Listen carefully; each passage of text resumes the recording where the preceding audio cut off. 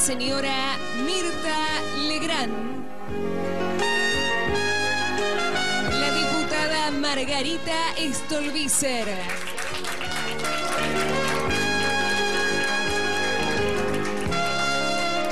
El doctor Daniel López Rossetti.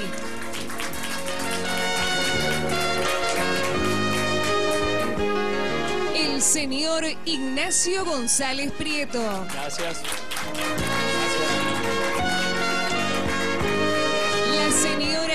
Gisela Bernal.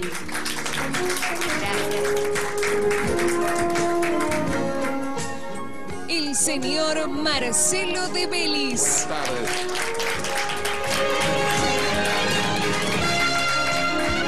El señor Federico Val.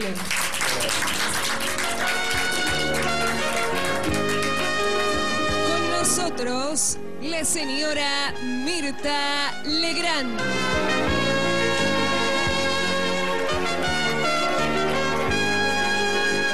Te agradezco mucho. Estoy pensando que Nacho, ¿estuviste cuántas horas en, el- en la ruta, en la autovía? Mirta, eh, 17 horas en la ruta 2.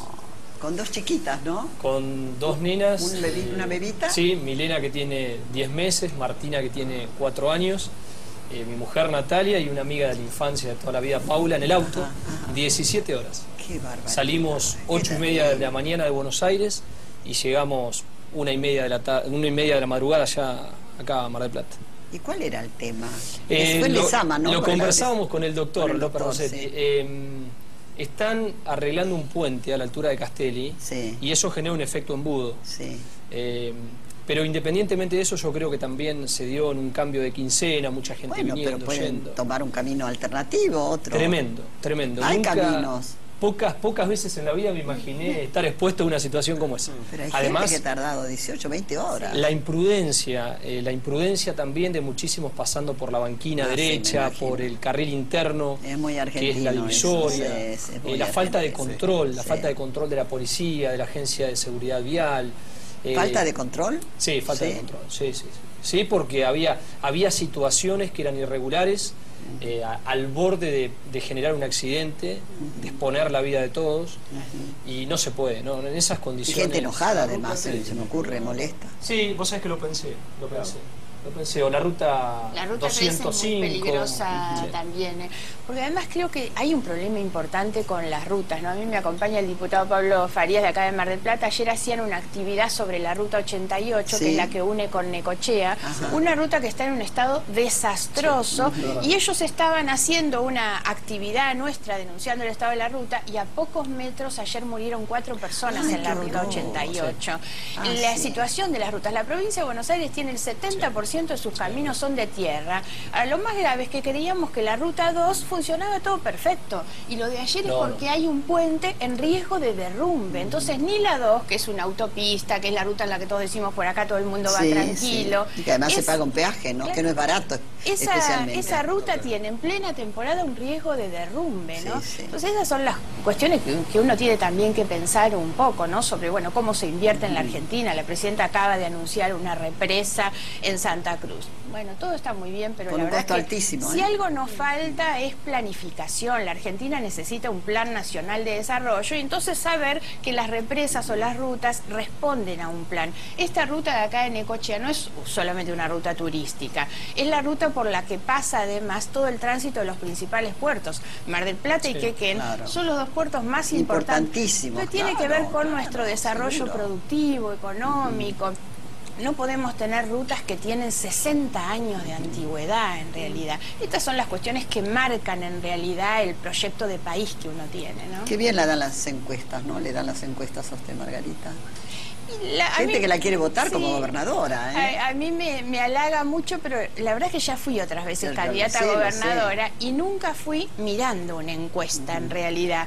Entonces tampoco voy a hacerlo ahora. Las encuestas son muy útiles porque a uno le sirven para mirar los defectos, para Sí. corregir. Son más importantes las cualitativas que las cuantitativas. La encuesta cuantitativa marca una fotografía no mira, de, no de me un no instante. Por eso digo, las miro, pero Ah, las miro ah, no ah. para ver eh, cómo marca. No, no es un marcador Ah, yo estaría Porque todavía además, mirando las encuestas. Yo creo, a los que le dan bajo, yo digo, qué eh, horror, no pobrecito, que- cómo deben sufrir. No hay que caer. no, a mí me dieron siempre mal. La primera vez, yo cuento la anécdota, estaba en el rubro otros y terminé teniendo un resultado extraordinario. Terminé saliendo segunda. Y otro. Estaba, estaba en el otros.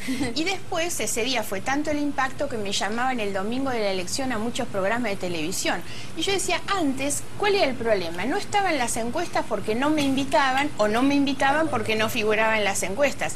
Las encuestas son un elemento Sí, importante sí, de sí. planificación. Ahora, no hay que caer en esa tentación tan narcisista de muchos candidatos de estar todo el día pidiendo encuestas. El país no se construye con encuestas ni con el brillo de las lentejuelas, Es una guía, ¿no es digamos. cierto? Es una Eh, guía. Sí, pero Sí, hay que sí. tomarla como eso, un elemento de Yo planificación. lo que noto es que, digamos. de acuerdo a lo que pagan a las empresas, los ponen primero. Claro, Aquí los sí, que vienen son todos primeros, y ya estamos encabezando, Ese- de acuerdo a la, a el- empresa que hace las, las Por eso encuestas, sirve ¿no? una encuesta cualitativa que a uno le dice qué es lo que la gente está opinando, qué es lo que la gente busca en un candidato. Esto sirve porque uno corrige. Ahora, el que marca solamente la tendencia de voto, eso es primero muy variable y siempre responde al que encargó, el que contrató la, la Usted encuesta. está hablando, le presto atención, pero la estoy mirando. ¿Cuántos kilos bajó Margarita? Y más de 40, más de ¿Y 40. dónde se fueron? Eh, y la verdad es que creo que, que ya lo Ya lo hablamos Fui a ver al doctor sí, pero ¿por qué Cormillón, él me recomendó al Ah, doctor Caíña, que es un cirujano extraordinario, Ah, y la verdad es que me hizo una cirugía y ahora como ordenada. Antes yo era ¿Pero muy- tiene hambre o no? No, no tengo hambre, pero como como debo hacerlo, que es menos cantidad, más espaciado en el tiempo. Me cambió, me cambió mucho la vida. Yo estoy tan agradecida con esto, me ordena, entonces como mejor, mejor comida, ¿Y menos qué la llevó a hacer esto? ¿Un tema de salud o de estética? De o- salud, yo tenía salud, ya claro. a mi edad tanta... Las mujeres siempre tenemos la coquetería, Seguro, pero sí, la sí, veleidad claro. estética cambia Claro, eh, claro. con la edad. Yo tenía indicadores en salud que no Claro, eran buenos. claro. Y hoy la verdad mis análisis dan perfecto, bueno, entonces eso es lo más importante. Feliz. Tema de diabetes. Claro, claro, tema de diabetes, 40 claro. kilos era otra mujer. Real. De verdad Sí, te digo. Otra mujer, preciosa además, Claro. lindísima, el peinado, todo. Pero además cómo está. claro, la, muy bien. la salud es más, lo más importante. El doctor sonríe, el doctor le Claro. Estuvo en muy buenas manos, ¿no? con cornillot y caína. Sí, seguro, seguro. bueno, vamos a ver qué, excelentes. hablando de comer, ¿qué comemos hoy? ¿Qué almorzamos? Y un poquito, hay que comer como dice la ¿Qué va a señora. moderado. Gracias, César, Que lo aplaudimos. ¿eh? Gracias. Preparado por el Hotel Costa Galana, nuestro chef es Augusto César. Muchas gracias. Doctor, muchas gracias por las flores que me mandó, ¿eh? le agradezco muchísimo. Muy amable. Tuve la conferencia el otro día. Pueden empezar, señores. ¿eh? Sí. Sí, gracias. He descubierto que el doctor López Rossetti es un actor frustrado. Ustedes no saben la charla, no sé si decir la conferencia, charla, ¿no es cierto? Una, Sí, fue una ameno, digamos. ¿Eh? Más ameno, más Muy ameno, pero hablando sobre la enfermedad de los famosos, de no de los famosos, sí, de algunos artistas también, También. caso Tita Merelo, Disépolo, Discépolo. pero si no de los grandes, de nuestros héroes. Fascinante, además lo actúa. Hizo poner un sofá.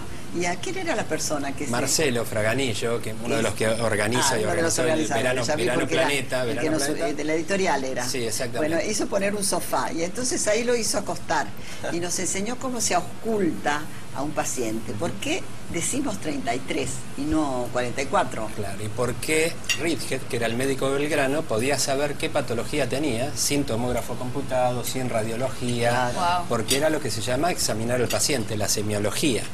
Y bueno, usamos e- eso incluso para hacer, explicar cuál es el fundamento del psicoanálisis. Pero ¿por qué 33? Eh, ahí está bueno, bien. Bueno, son esas cosas muy llamativas porque parece Cristo, mentira, ¿no? pero Ridgehead, no, no tiene que ver. Cristo ¿No? probablemente haya fallecido a los 36. en 36 se realidad, en decía, realidad no sí, sí. 33. Pero el porqué es lo siguiente, uno respira por la nariz, el aire entra por las vías respiratorias y va a los pulmones. Y los pulmones son mierda igual que una esponja. Entonces cuando vos pones la oreja en la espalda, Ignacio, escuchás la voz 33, pero como alejada. ¿Por qué? Porque el sonido pasa por el aire. Cuando hay una infección, cuando hay agua, cuando hay neumonía, cuando hay eh, eh, infección en el pulmón, la esponja se llena todos los agujeritos, en vez de aire tiene sustancia, entonces se pone dura. Y cualquier elemento duro, cualquier cosa dura, transmite mejor el sonido. Entonces vos pones la oreja o el estetoscopio y le decís al paciente, diga 33. Entonces dice 33 y uno lo escucha bien articulado, 33. Entonces, donde yo puse la oreja, es probable que si saco una radiografía vea una lesión de neumonía, por ejemplo. Entonces, así, Reedhead, los médicos de entonces, tocando el pecho, podían saber, incluso el médico de Belgrano, que tenía un corazón agrandado, que tenía insuficiencia cardíaca con corazón agrandado. Cuando le hacen la autopsia, el doctor Sullivan le hace la autopsia al general, al general Belgrano, descubre que efectivamente el diagnóstico de Ridger era correcto. Y cuando sale Mierta del convento de Santo Domingo, donde hace la autopsia, le dice que sí, que su diagnóstico era correcto, que tenía un corazón muy agrandado por insuficiencia cardíaca, pero como Ridger era muy amigo de Belgrano y no se animó a estar en la autopsia y lo acompañó en los últimos siete años en sus combates, no se animó a hacer la autopsia y Sullivan le dice, y su amigo tiene un gran corazón, es un hombre de gran corazón. Actor, historiador, maestro. Increíble igual historia. Un increíble. gran Linda maestro historia, linda también. historia. Sí. Bueno, y aquí lo tenemos al doctor con su santidad. Esto fue cuando, la semana La pasada. semana ¿no, pasada, doctor? sí, ¿Pero porque- ¿Por qué se ríe tanto su santidad? ¿Qué, qué hombre? En serio, qué simpático es. Un chiste le habrá Es contado. así. Estaba contando es lo de así. 33. A ver, Claro, porque yo, yo sé por qué le pregunto esto, porque me lo contó el doctor. A ver, Que lo cuente, que lo cuente. Claro, fue en el, en el concierto de la asamblea sí, de un congreso de escolas. Escolas es un, Sí, una escolas, propuesta del Papa extraordinario. Sí. Exactamente. Y presentamos RCP, reanimación cardiopulmonar, y un proyecto que ahora empezamos en San Isidro, que es para hacer un plan piloto meditación en chicos de colegio para disminuir la ansiedad y la ira, el enojo. Un poco lo contrario a relatos salvajes. Cuando, claro, Sí, sí, sí, parece mentira, la, la- la meditación tiene efectos psicofisiológicos comprobados. El Santo Padre promovió esto, creo que en, noviembre de 2013, como una No, cajita no, de medicamentos que se llama. Misericordina. Misericordia. Y se vende hoy, claro, la sustancia es misericordia. Él promueve las emociones positivas, entonces alegóricamente mostró eso en la Plaza San Pedro y hoy se vende como gift en todos los lugares. Muy Está buenísimo. No, genial. Pero hace bien increíble que- tenemos. ¿Cómo Como- hace como- bien? ¿Sabes qué? Como promover la misericordia, que Sí. es una emoción positiva. Claro. Entonces, ¿qué es lo- él lo impulsó. Nosotros lo, empuja- lo empujamos desde el noticiero de Telefe y también en Radio Mitre. Sí. Cuando le digo, después de la- las primeras palabras, le digo a- a- a- al Papa, le muestro la cajita, la saco del bolsillo, le muestro la cajita y le digo, nosotros recetamos esto, tanto en Telefón Noticias como en Radio Mitre. Se ríe, ve cómo me agarra con las dos manos, la pero se ríe de adentro. Pero lo importante Mire la foto, mire, ahí, ahí la están Ahí está la cajita en la foto. Dice foto. 59 Muy granelli intracordiali, dice acá. Claro, ¿eh? 59 granelli. Misericordium, es misericordium se llama. La, la droga gracioso. misericordia. Y 59 granelli es mierta porque si lo abre, adentro hay un rosario. Ah. Y el rosario tiene 59 cuentas. Exacto. Ah, mira Es una forma en que el Papa está. Francisco, una cosa muy linda. precioso. Pero ¿sabe por qué se ríe ahí en ese momento? Que moderno. aparte Qué que le, fino, le qué alegró. ¿Sabe lo que dijo ¿Por qué? Mirta? Dijo, y ahora viene la Misericordina Plus. Hasta eso dijo, tiene una Qué alegría. enorme. gracioso, me encantaba. Qué gran papa, Qué, ¿no? Es un hombre qué gran fantástico. papa, Qué sí, orgullo. un gran papa, Eso sí. vos lo conocías. Yo lo conozco, lo conozco de haberlo tratado muchísimos ¿Sí? años. Yo es un nunca lo he visto. fantástico. He hablado con él. Fantástico. No, miento, miento, no he hablado, me mandó una carta muy cariñosa. Mucha gente, Mirta, lo, no era un hombre simpático, hombre apático, Ajá. por ahí de, de- de no transmitir demasiado sus emociones. Pero aquellos que lo tratamos durante muchos años, en momentos muy simbólicos para la religión, pero muy importantes para él, en la misa de San Cayetano Liniers, en la misa de los pobres en la Plaza 11, la gente de la calle en la Plaza de Constitución, eh, en las Pascuas, era un hombre de una humildad tremenda. Yo realmente me sorprendí cuando lo, lo eligieron papa porque no respetaba la, la estructura que históricamente había tenido la Iglesia Católica. Es un revolucionario. Eh, a mí duda, sí. es un revolucionario, no Está tengo la menor produciendo una duda. transformación extraordinaria en la Sí. iglesia a nivel universal. Pero- ¿no? Ay, Aparte- perdón, a mí me encanta que use los zapatos que usaba acá, unos zapatos negros. Le iba a contar eso. usaba- Sí, Sí, a contar íbamos eso. a contar eso que estuvimos conversando con el unos doctor. escarpines italianos, sí. ¿no es Sí. cierto? Hechos de cera, Como con norma. ¿no? Es como una norma. Sí, sí, sí. Sí, sí, sí, Claro. sí. Hay un detalle que a mí realmente me, sorprendió y lo llevo como parte del patrimonio que uno hace en la profesión. Eh, eh, yo siempre le decía, nosotros le decíamos Jorge, eh, ahora el Papa Francisco medio que uno se siente incómodo. Él tenía una pequeña habitación en el arzobispado, frente a la, a la Plaza de Mayo, al lado de la Catedral de Buenos Aires. Y realmente entrar a la habitación de él y ver la humildad que tenía este hombre, a uno lo conmovía. ¿Por qué? Porque era una cama, una cama muy pequeña,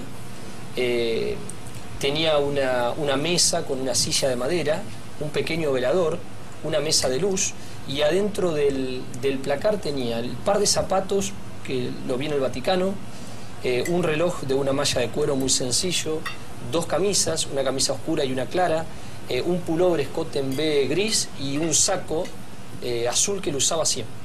¿Vos viste todo eso dentro del Sí. placar? Y haciendo culto a, a quien él se puso el nombre, San Francisco de. Asís. San Francisco de Exacto. Ah, Asís, porque es el culto sí. de, de- Sí, sí. del loco De de, la Asís. austeridad. Claro. Incluso, incluso si uno piensa, olvidemos, supongamos que Dios no existe, cosa po- posible, digamos, o sea, la mitad de la humanidad piensa que sí, otros sienten que no.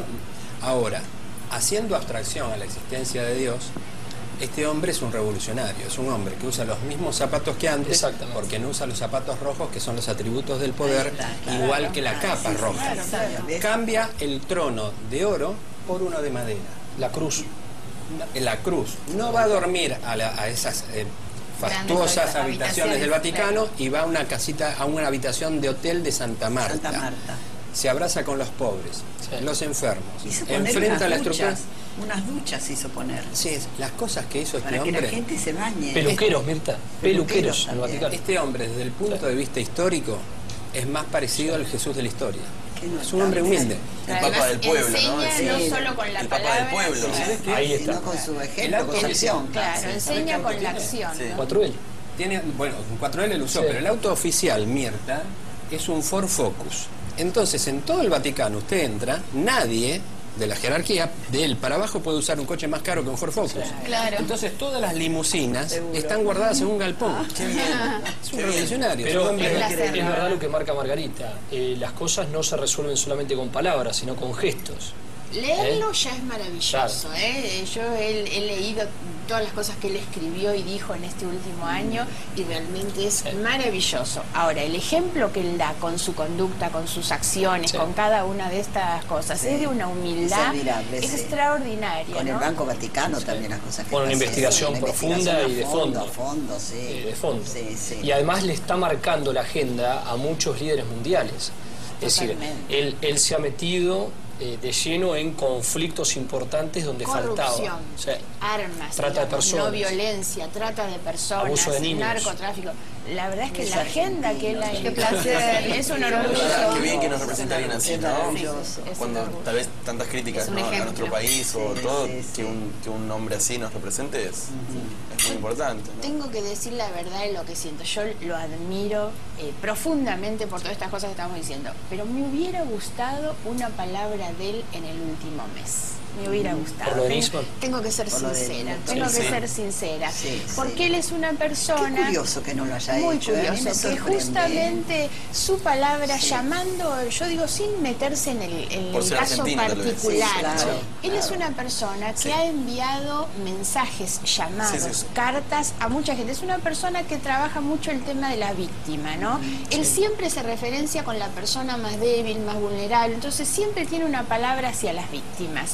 Yo creo que una palabra de él en un llamado a la concordia, en un momento donde la gente está angustiada, tiene sido zozobras, muy tiene. Sí. Y Entonces además- digo, así como me- es una persona a la que admiro enormemente todo lo demás, Sí. en este mes me hubiera gustado, creo que le hubiera hecho bien a la ¿Qué Argentina razón haber tenido una ¿Qué piensa palabrita usted? de parte de- del ¿Cuál debe Papa. haber sido el motivo, la razón por, por qué no ha, no ha hablado, no ha dicho nada? Es no una persona muy inteligente, por lo tanto, tal vez, pero en esto uno no debería no- ni opinar. Tal vez él ha considerado que entrometerse en un tema así no agregaba. Sí, lo Yo extraño- de. Cristina, de la presidenta, así que por ahí... Lo extraño no de, de- esto es que él ha convocado al diálogo interreligioso, que es una buena oportunidad donde eh, ahora se está planteando justamente de que el atentado a la AMIA, a diferencia de como lo piensa muchísima gente, no es un atentado con la comunidad judía, es un atentado contra los argentinos.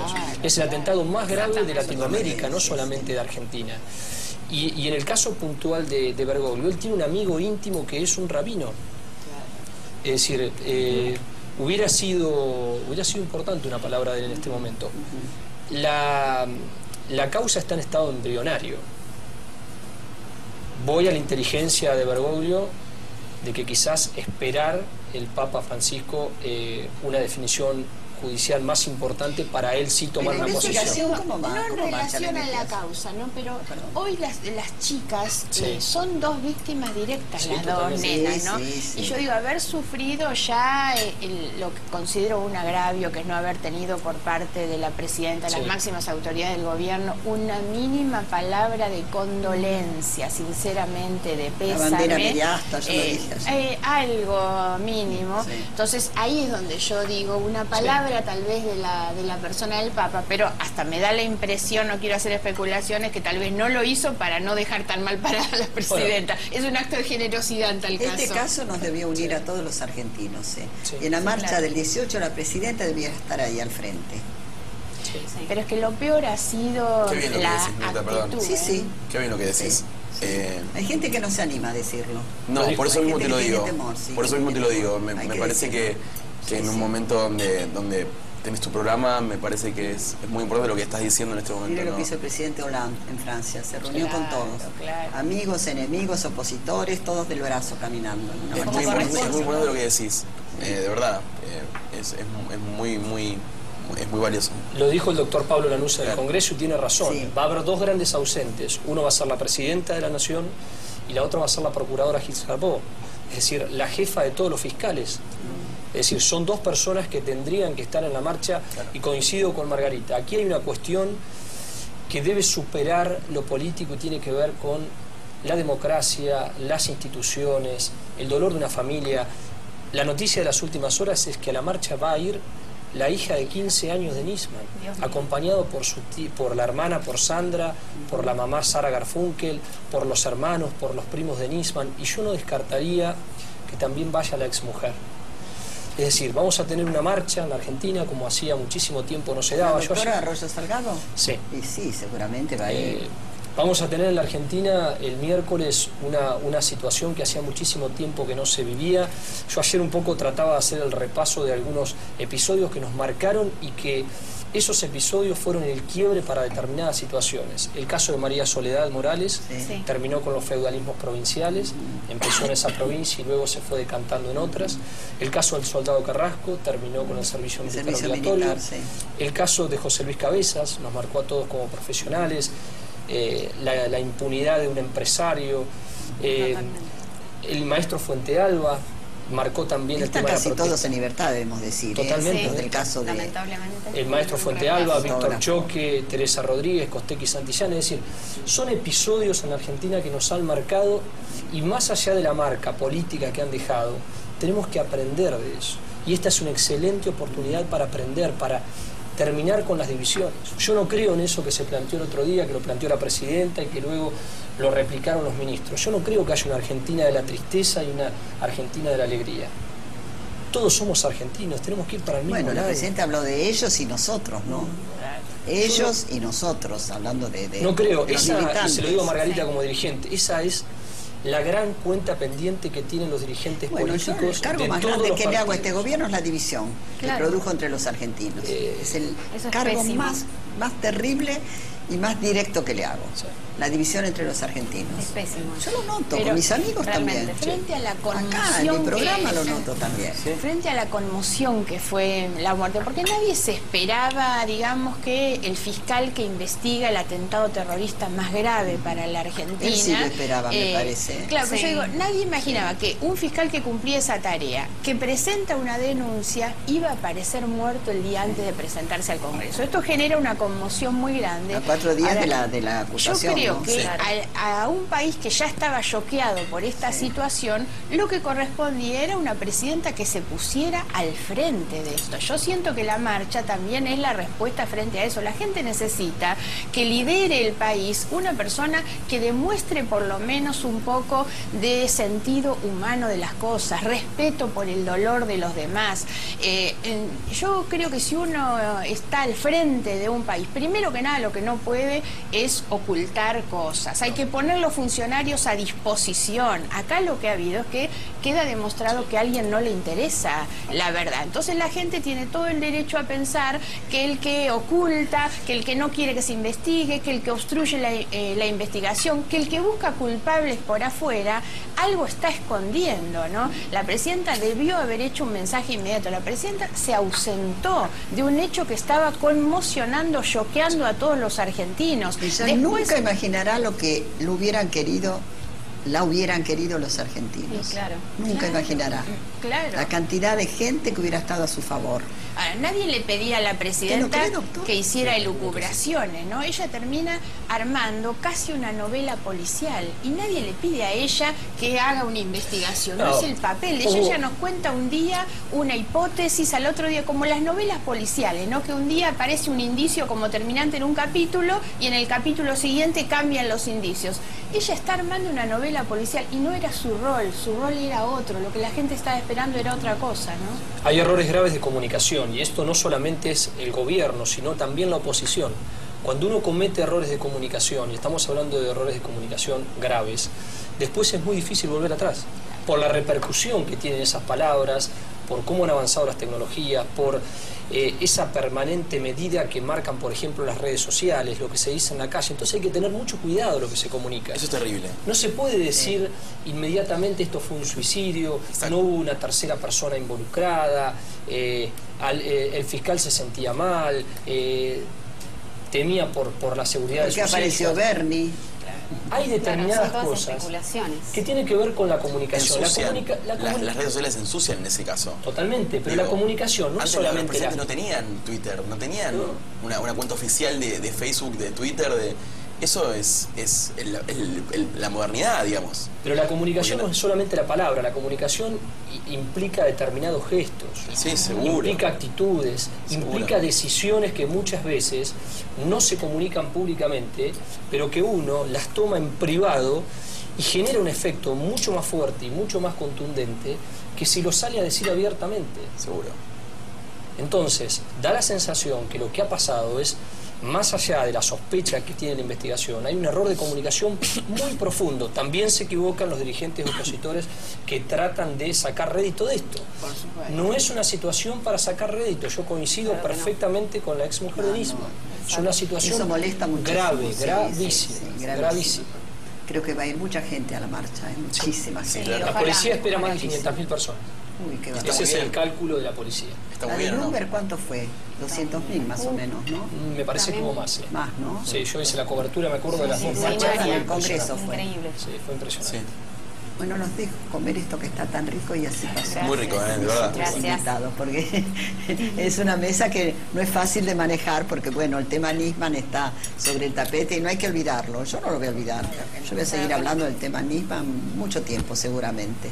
Pero bueno, tengo a mis invitados del mundo artístico también acá, que te felicito porque está tan bien hecha esta comedia, que es muy difícil, es una atracción fatal. Linda, Con mira, Raúl ayer lo Taibo. hablábamos con Pablo Codevila que hayas venido. Sí, ¿por Y qué sí, voy a ir? Sí, me encanta. bueno, está bien, pero es un lujo haberte tenido en Ah, la no, sala. querido, qué lujo, me y que encantó. después me invites porque ahora que la viste Sí. es diferente que me preguntes o que comentes algo, porque sé que lo agarrás con afecto el programa. Sí, est- estás muy bien, Marcelo. Están los tres Los están tres, muy bien. los tres. Mónica está tan seductora y Taibo que Sensacional, es Dorian los. Gray Taibo, ¿viste? Dorian, es Dorian Gray Taibo, está siempre igual, no envejece. Sí, qué increíble, ¿no? Envejece. ¿Te acordás de Vecino Dorian Gray que tenía un Mirá, cuadro? está mirando, Es vecino un también. beso Un beso, yo también a él y a Beatriz Taibo que está mirando a su mamá Ah, también. bueno, Betty, Pero un él no quiere que le digan el eterno, pero es eterno, No, no, porque eterno fue yo no le digo, a mí también me dicen eterna y no me. Ni se te ocurre pero, eterna, Pero Raúl es una cosa increíble y sigue vigente como nunca.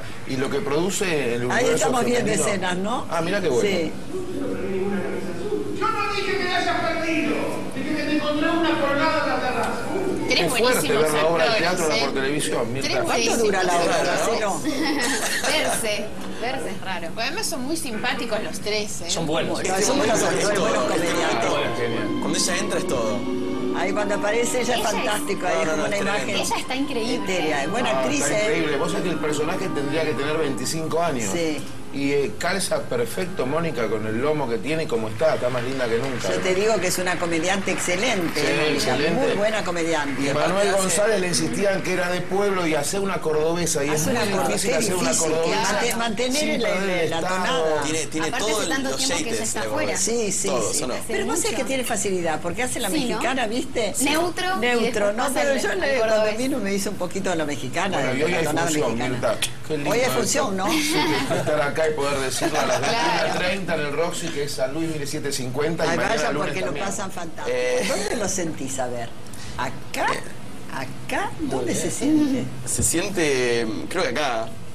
eh, El doctor Manes dice que se siente en el cerebro. Yo insisto que se siente en el Lo corazón. de las mariposas no vale. El estómago también, ¿eh? El estómago También, también. sí. A ver, este, a, la ver, realidad es que- a ver qué nos dice. A ver qué nos dice, sí. nos da A ver.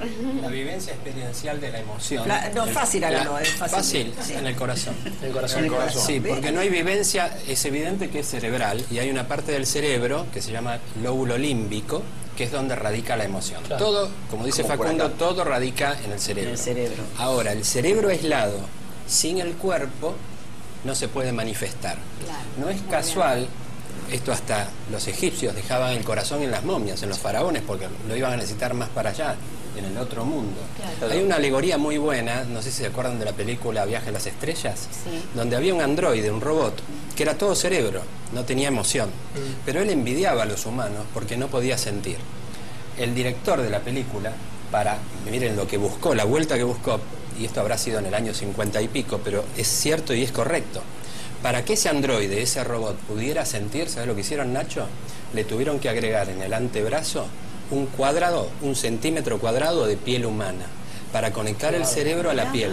Hay que tener cuerpo para sentir. La emoción tiene tres Yo creo que es características. una integralidad, ¿eh? Claro. Para mí se siente en la piel Sí. y en los ojos. Hay Sí, gente sí. que dice, en los ojos se yo ve lo el, siento el también en amor. el, en el tacto. Me parece Sí, que. para mí la- la piel cuando es uno, cuando uno fundamental. toca una piel. Bueno, cuando- ¿cómo decir? Es una cuestión Sí. de piel, ¿no es cierto? Es una cuestión de piel. Es una cuestión de y, piel. Y con Bárbara me pasa un poco eso. Yo ¿no? una vez le pregunté a, a Carlos Monzón, esto ya lo conté en televisión, porque yo tuve una, pequeña discusión, no, una divergencia con el doctor eh, Facundo Manes, porque yo decía que el amor se siente en el corazón, y me decía, no, es todo el cerebro, el cerebro. A mí me dio un premio como cerebro inteligente, no sé si saben. Muy bien. Y lo merece. Bien, bien. aplausos. ¿no? verdad, muy bien. No, no, no, no. No, ¿por qué no? ¿Por qué no? Las tres características Este, de la el emoción. lunes va a estar, el lunes va a estar el doctor Manes acá dando una conferencia. Perdóname. No, no, que iba a decir justo las este, tres características de la emoción, ibas a decir. La emoción tiene tres, ex- tres ejes. Uno es la vivencia del cuerpo. Se siente, Justamente, una sin vivencia Sí, de sí, cuerpo no hay. Claro. Otro es lo que pasa en el sistema nervioso que se llama autónomo, el que maneja los intestinos, el que maneja el corazón, el que maneja... Y el tercero es el- la vivencia experiencial de la emoción. El amor, lo que él está viviendo ahora, es, en principio, esto biológicamente está comprobado, está en fase aguda. Esto no quiere decir que sea igual dentro de X tiempo.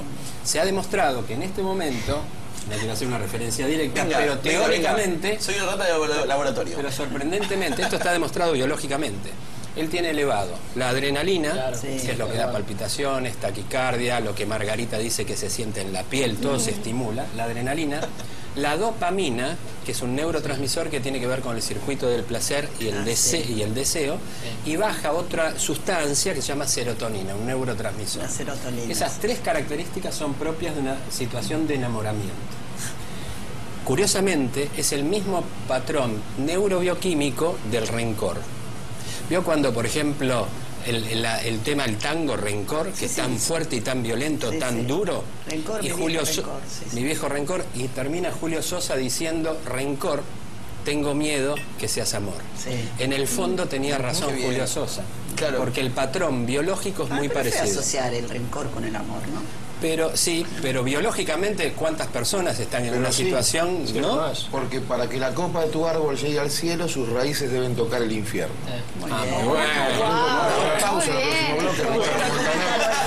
No es el yin y el yang, es así. Yo que una vez vino Carlos Monzón al programa Era la época que estaba saliendo con Susana, con Susana Jiménez. Y yo le pregunté la misma pregunta que te hice a vos, Fede. ¿Y cómo sentís que estás enamorado? Me dijo, porque lo siento acá, acá lo siento, acá lo siento. Bueno, Monzón era más, más, más, Sí, sí, más sí, sangriento, sí, más. sí. Yo soy más señalaba mental el corazón. Más mental. Y fuimos a jugar a la pelota, yo era el árbitro. Y cortaste cadena a los 10 segundos. Vos sos, vos sos muy apasionado. Soy apasionado. muy Bueno, apasionado. pero pe- me parece, yo no lo conozco mucho a Federico, lo he visto esta, creo que es la tercera o cuarta vez que lo veo, que está de verdad enamorado. Y vamos a hacer un brindis Muy por bien. eso. Estará viendo Barbie. O sea Se que Carmen, que Carmen, que Carmen y Nasa pasarían a ser consuegras. Claro. Son momentos complicados.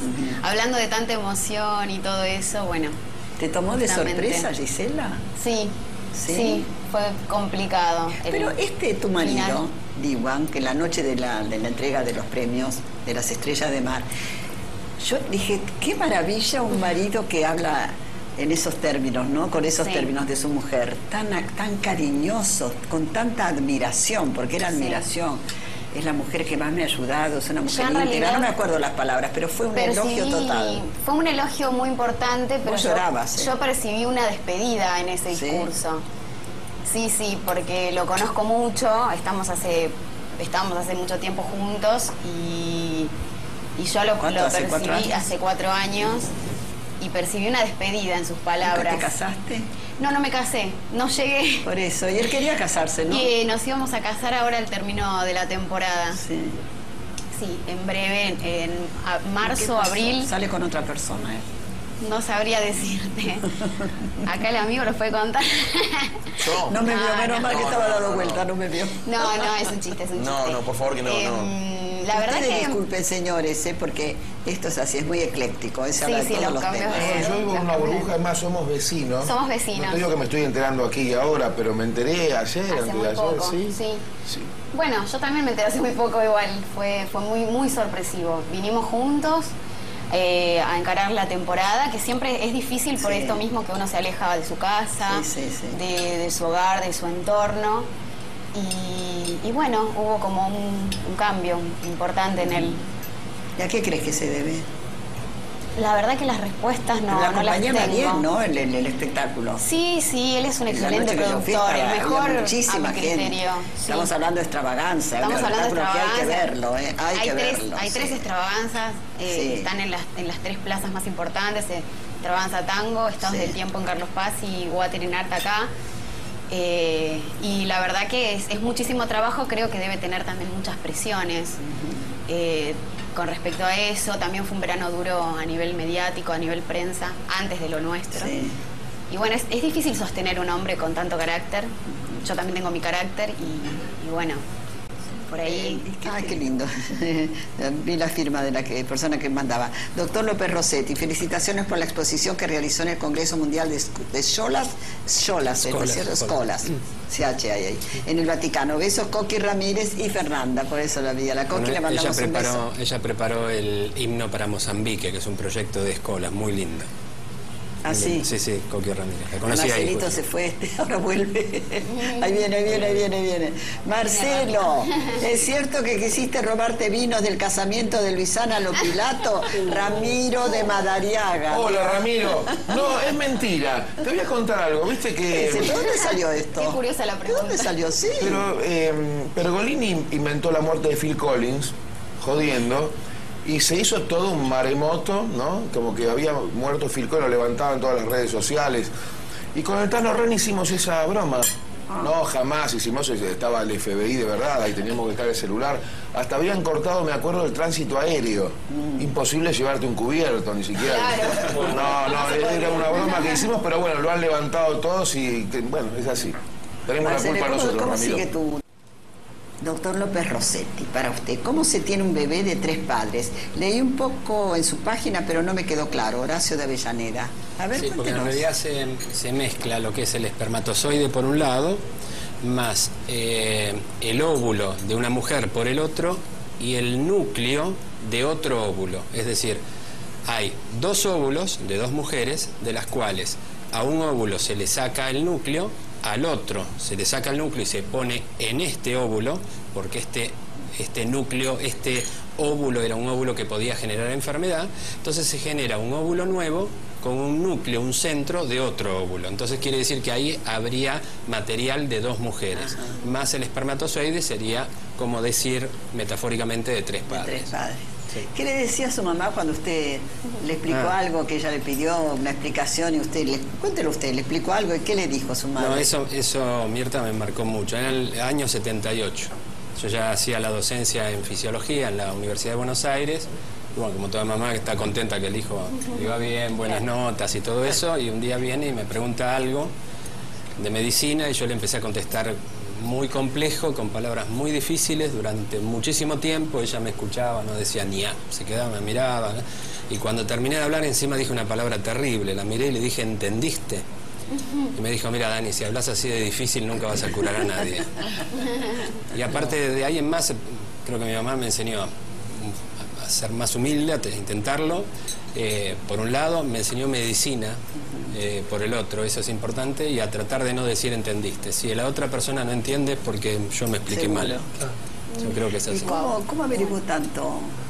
Allá voy, chicos. ¿Cómo averiguó tanto sobre la vida de Tita Merelo? Bueno, que me vivió fue... muchos años en la, perdón, En la en la Fundación Favalor, ocho años creo, ¿no? Sí, estuvo cinco años. O cinco, en, cinco en la, años, en la habitación correcto, sí, 924 de la Fundación Favalor y yo le comentaba el otro día que, bueno, mi mamá se hizo el Papa Nicolau, me acuerdo claramente un ¿Se día que... acuerdan me- Tita diciendo? Sí, Claro, "Muchachas, digo, ¿dónde vas? Y me dijo al Alsec a hacerme un Papa Nicolau. Ha salvado muchas vidas, Tita Merelo. Y bueno, muchísimas. Yo decía que en esa habitación de la Fundación Favaloro, noveno piso, 924, conversaciones, Nacho, entre Favaloro y Tita Merelo. Y digo, esas dos. Ah, lo Bueno, que Tita- habrán sido esas dos personas, las personas que salvaron. Tita Merelo es mejor médico que yo. Yo no sé la cantidad de mujeres que salvado. perdón, y Mario Zapac que la invitaba. Sí, es cierto. Y tenía el latiguillo, hagamos el papá Nicolau, el latiguillo de Mario sí, Zapac sí, también sí, estaba claro. instaladísimo. Algunos la ridiculizaban con eso, ¿eh? le tomaban un poquito el pelo con el Papa Nicolau, pero admito que ha, ha salvado muchas vidas. claro. ¿viste, la prevención? cuando un actor o una actriz insiste con un tema, enseguida lo toman. Se instala, promovió una acción que salvó muchas vidas y, y sin asustar, Ella era naturalmente. analfabeta. Ella era analfabeta, Sí. como ella dijo, hizo la calle y Fue falleció con... bollero, Generó conciencia. Fue Sí. bollero. Sí, sí, sí. Y, falleció con la más alta moral, Sí. ¿no? Una mujer, Y a habla de disépolo también. Eh, me dice que estamos tomando un riquísimo café de disépolo también Sí, mucho. Bueno, usted decía, y es cierto, uno googlea Disépolo, Sí. causa de muerte, y dice que Disépolo muere de tristeza. Entonces yo me empecé a, a Ay, meter, no me a ver si es eso, cierto. No, si es cierto que se puede morir de tristeza. Tristeza, melancolía y depresión. La respuesta biológica es que sí, uno con la depresión condiciona enfermedades, entre ellas las alteraciones cardiológicas. Y uno dice, ¿cómo puedo estudiar a Discepolo? tantos años atrás. Bueno, se pueden hacer estudios históricos y también biopsias emocionales. Estudiar un tango de Discepolo es una biopsia emocional. Para repetir, ya que charlamos tanto de las, de, de las eh, autopsias psicológicas. Ahora se viene la autopsia psicológica de Nisman, la va a hacer Ah, el sí. doctor Rizzo. Bueno, Ah, biopsias Richa, bueno, es psiquiatra. una eminencia. Bueno, biopsias emocionales usted puede hacer viendo un tango como el que Dijepolín de Homero Mansi, cuando dice, sé lo que te cuesta ser feliz con tu cara eh, pálida de clown, de Sí, payaso. Y cuando dice Dijépolo, gira, gira, lo escribí con la mano, pero lo sufrí con todo el cuerpo, está hablando de una emocionalidad. Y cuando uno ve en el tango 1, que es, digamos, la expresión máxima de- del inconsciente, el, el preconsciente y el consciente freudiano, que dice uno, y todo lo que dice es emocional. Busca lleno de esperanzas el camino que los sueños prometieron a sus ansias. Todo eso es emocionalidad. Ansias, busca, esperanza, todo emoción. Y Cambalache, don Después. Sí, cambalache. Y ahí viene, Marcelo, otra palabra que es la única del telencéfalo, pensante, racional, sabe, es la única cognitiva. Y todo lo que viene después es emoción y lucha. Que eh, sabe que la lucha es cruel, es es mucha, pero lucha y se desangra por la fe que lo empecina. Vos ves que. Es brillante, esos dos renglones, es- Lo que hacía él. no, era un, número, ¿no? era un número uno que sufrió, sufrió mucho por mordisquito y por el, el choque social Claro, que yo tuvo. el otro ¿no? día en la, la charla del doctor, este, después pasaban el micrófono a cada uno que quería manifestarse, que quería hablar. Y yo, yo lo conocía a Disépolo y a Tania, que era su mujer. Íbamos con Daniel a un, a un lugar que él tocaba, que cantaba Tania, Cambalache se llamaba. Frente al Cervantes estaba, Libertad casi corriente, casi Córdoba. Y Y él murió de tristeza, porque él hacía en la época de Perón, yo lo escuchaba por radio, en cadena nacional, hacía un personaje que se llamaba Mordisquito a favor del peronismo, del gobierno del general Perón, y este, mucha gente estaba en contra. Y cuando cae el gobierno de Perón, empiezan a no contratarlo, a no saludarlo, nada, lo hacen a un lado, lo apartan, el, el no querer a una persona, el degradarlo inclusive, y muere de tristeza. De la mano de Osvaldo Miranda, que era su gran amigo, un gran actor Bueno, también, Osvaldo Miranda. Número uno. Como en la uno en calle comedia, Callao. ¿eh? El número uno. ¿vale? El El número mejor uno en comedia. sí, y Beatriz sí. Bonet, con toda humildad, en el rango femenino, entre otras. Ah, es cierto, como comediante. Margarita. Padín, Golinda Bozán. Mirá cómo las recordás a todas, muy Y bien. yo era muy amigo de, Nini Marshall, de Olor Rinaldi. la señora de Luis Andrini, de Malvina Pastorino. Ah, Malvina, y en una los últimos años de su vida se hablaba con Tita Merelo. Porque ellas habían... Porque ellos se reconciliaron en, una- en un programa de Susana Jiménez. Susana la llevó a las dos y fue la- el rating más alto que tuvo en esa época Susana, con la Exacto. reconciliación de las dos. Pero yo, nosotros teníamos una casa en Martínez y los Sandrini vivían en Martínez. Mi marido era, Daniel era muy amigo de Luis, muy amigo. Sí, Y un día, bueno, vino, le invitamos a Tita Merelo a almorzar a casa. Yo todos los domingos invitaba actores, así, actrices, gente amiga. A mí me gusta estar con actores, me encanta la gente del ambiente. Y, este, y entonces, bueno, le invitamos a Tita, que era un personaje. Y cayó Luis Andrini, que vivía a pocas cuadras de nuestra casa. Y ahí se encontraron. Y yo lo noté incómodo a Luis. Ella estaba, este, ella iba al frente directamente y él estaba ya casado y con las dos chicas que tenía, ¿no? Casado con Malvina. Claro, claro. Y lo noté como que estaba incómodo. Lo tomó de sorpresa esa, ese encuentro. Pero son esas cosas que te quedan grabadas. Y sí, Han pasado años y a mí nunca se me sido. fue de mi cabeza. dejaron de ¿eh? hablar. ¿Qué, Darse. qué les pasaba? ¿Que tenían algo...? Ellos habían sido, sí, Claro. pareja durante Sí. Muchos años. Sí, muchos Claro. años. El gran amor de Tita Merelo fue Luis Andrini, el gran amor. Muchos años, sí, convivieron juntos inclusive. Marcelo, te admiro y te amo. Pani Chama. ¿Quién es Pani Chama? Ah, Pani. Pani. Un beso grande. Es una amiga, Pani. Un, un artista que está creciendo a ¿Sí? pasos agigantados y se lo merece porque está capitalizando su locura. Está loca. ¿Sí? No estaría en el ¿Pero Moyano, qué pero hace? está... ¿Que es actriz? eh? Sí, Disculpame es que no- actriz. ¿Sí? Es actriz. Bueno, es una amiga que buena está, suerte. laburó en el Chacareria el año pasado. Ah, Chacarera, hizo un- Chacarera, no es un unipersonal, pero ella no quiere que, que digan eso, pero sí, un beso. Gisela, ¿pondrías las manos en el fuego por los manejos económicos y laborales de tu marido en extravaganza? Ricardo de Caballito, ¿eh? Sí. qué fuerte. Sí, la verdad que sí. La verdad que es un gran productor y una persona honesta. Pero tu marido tiene otra actividad al margen de productor, ¿no? Eh, siempre se dedicó a la construcción. a la construcción, Sí. eso me contaba. Tenía sí. inmobiliaria. ¿Y no tiene más la empresa? Eh, la inmobiliaria la sigue teniendo y la maneja la familia. Ah, es, es empresa de familia. Sí. Fede, Nazarena te acepta como yerno y tu mamá la acepta a Barbie como nuera. Claro, mensaje de Twitter. Yo creo que todos, que, yo creo que todos Si sí. no lo acepta, nosotros seguimos igual. Claro que sí. Somos, somos rebeldes, ¿no? Fue la muerte Viste la que ah, Somos, somos rebeldes, Mirta, qué sé yo, creo que sí. Creo que igual nos aceptan todos de todos Espera que voy a presentar en los libros del doctor eh, López Rossetti. Historia clínica, la salud de los grandes personajes a través de la historia. San Martín tenía ah, ah, el prólogo de Felipe Piña, que también dio una conferencia acá, lo fui a ver. Este, San Martín tenía poca salud. ¿Qué joven muere? No, en Belgrano muere muy Belgrano joven. muere joven, a los los 50 y 50 años. tantos Sí, él tenía sífilis, fue diagnosticado en el Sí. protomedicato del Río de la Plata como, como vicio sifilítico por el doctor O'Gorman y unos licenciados Rojas Gorman, y Aroche. Sí, y terminó, y terminó teniendo una Pero- enfermedad cardíaca por eh, lo que es la etapa tardía de la sífilis, que es absol- era absolutamente... Mucho opio, ¿no? Es decir, aplicaban opio, ¿no? Eh, él, no, él no usaba opio. El Ah, que ¿no? utilizó opio, papaver en una forma que se llamaba laudano de Láudano. era San Martín. Ah, San Martín, porque tenía muchos dolores reumáticos. Hay quien decía si fue adicto.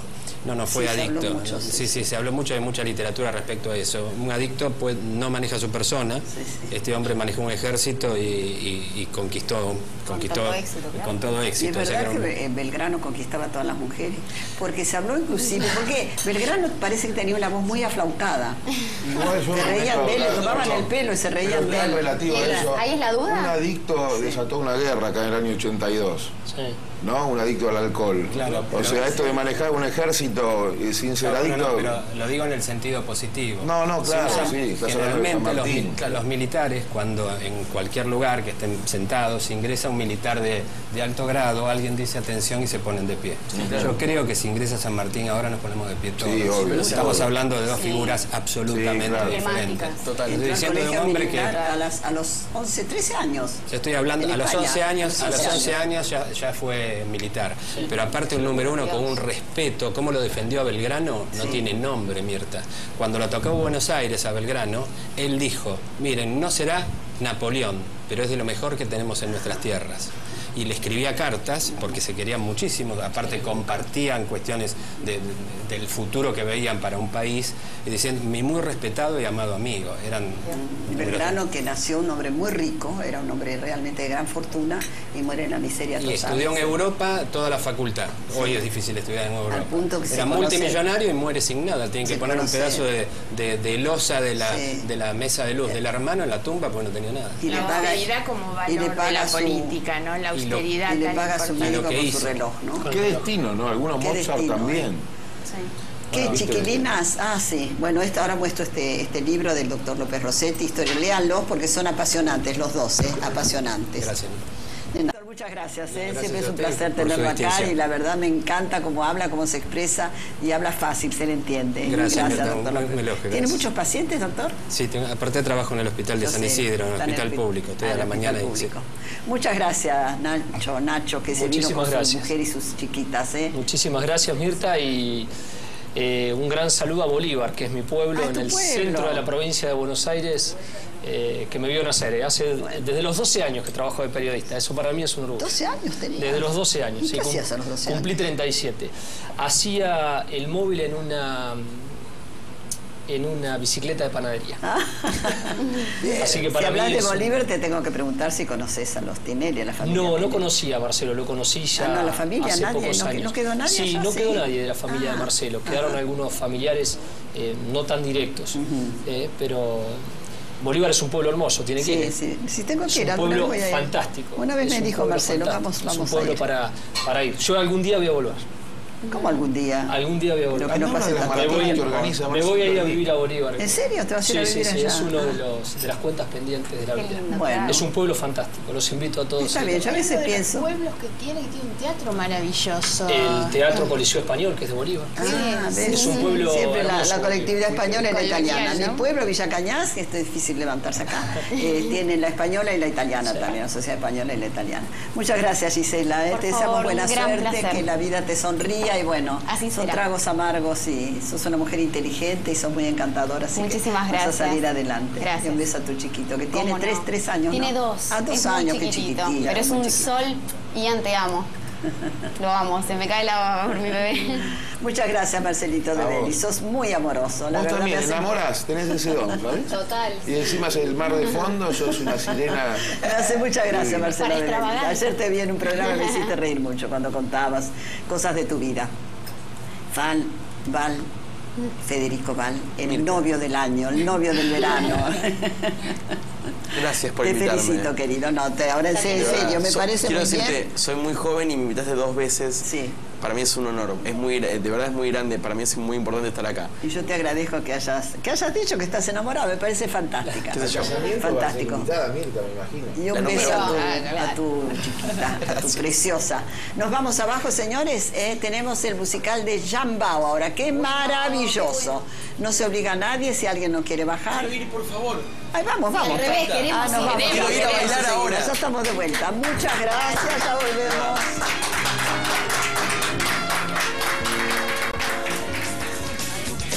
Hola, hola, ¿cómo les va? Hola. Hola, ¿cómo están? ¡Upa! ¡Despacito! ¡Ay, cómo está mi amor! Hola, buenas tardes, ¿cómo estás? Un saludo para Misión Futuro. Bueno, pues, hola. ¿Cómo está? ¿Cómo está? Ah, bueno, bueno. Ah, bueno, bueno, dame la. Hola, ¿cómo estás? ¿Cómo estás? Mercedes de Corrientes. Gracias. Bueno, de San Francisco, Córdoba. Buenas tardes. ¿Cómo están? Buenas tardes. Uy, qué cantidad de gente. Impresionante. Bueno. Familia Sosa, Norberto de la Riestra, Formosa, Salta, 25 de mayo, Azul. Familia Moro de Los-. Hola chicos, buenas tardes, ¿cómo están? ¿Cómo están? Tucumán, Casbás, Chola de Luján, Mendoza, Tucumán. Eh, la, Borde, la Borderoy, San Juan, Azul, López y Santa Fe. Bueno, les voy a presentar a mis invitados. Ahí está, la señora Margarita Stolbizer, aplausos para la diputada. El señor Ignacio González Prieto, excelente periodista. La señora Gisela Bernal, mire qué bonita. Camina un poco, Gisela, camina que te vean. El- mirá qué cuerpito. El señor Marcelo de Belis, fuerte el aplauso. El señor Federico Val, téngame, querida. que acaba de declarar su amor por la Barbie. la Barbie Vélez. Y el doctor Daniel López Rossetti, ¿eh? Adelante. El doctor es un gran especialista también. Y aquí están los chicos. ¿Qué, va- qué van a tocar, chicos? Eh, Li- Néstor, ¿no? Néstor, ah, Néstor, ahora digo. eh, así se llama Néstor. bueno, yo me voy a sentar. Todo confuso. Ahora esa manito arriba. Vamos. Esa alegría. Sí.